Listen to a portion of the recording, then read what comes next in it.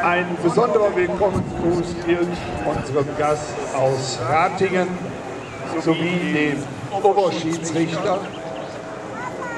Suche ihn gerade. Er ist auch irgendwo da. Patrick Iber mit seinen Schiedsrichtern Ulrich Wilsch, Svenka Kniest, Marc Schörings und David Schwert.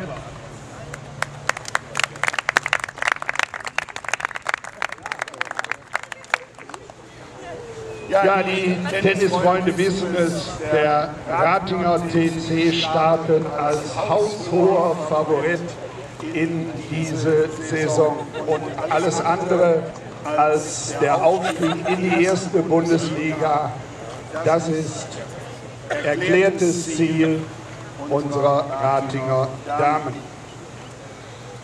Ja, und nach der unglücklichen Auftaktniederlage unseres Teams wollen unsere Damen heute wieder fighten, fighten, fighten. Ja, und vielleicht gelingt Ihnen ja auch heute die ein oder andere Überraschung. Schauen wir mal. Da wir nun die Mannschaften vorstellen. Und nun der Etov. Die Französin ist das neue Gesicht beim Etov und will heute zeigen, dass sie zu Recht verpflichtet worden ist.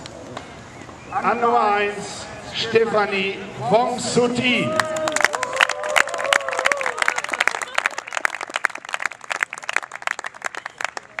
Die Kroatin aus Zagreb spielt bereits im vierten Jahr für den Etov und ist aus der Stammbesetzung nicht mehr wegzudenken.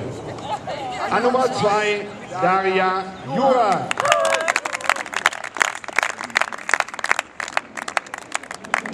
Als erfahrene Spielerin gehört sie zu den Leistungsträgerinnen im Team.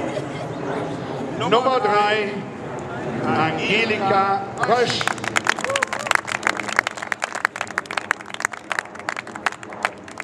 Die lettische Fettkampfspielerin ist ebenfalls neu beim Eto. Und nicht nur im Doppel will sie punkten. Unsere Nummer 4, Liga Dickmeiere.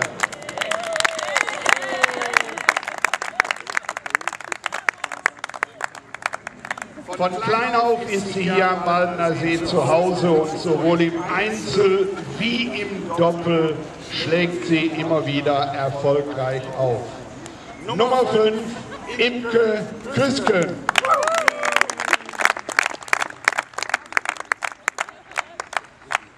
Seit 2004 ist sie fast ununterbrochen in der zweiten Liga aktiv.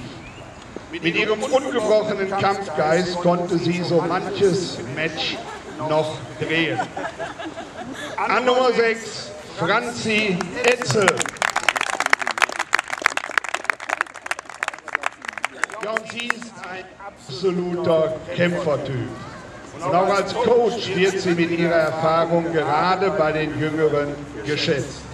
Nummer 7, Katharina Jakob. Teammanager ist Frank Stückrath und Teamcoach Rainer Stambor. Freuen wir uns nun auf interessante Matches und ein attraktives Tennis heute beim Match in der zweiten Damen-Bundesliga Etum Essen gegen den Ratinger TC Grünwald.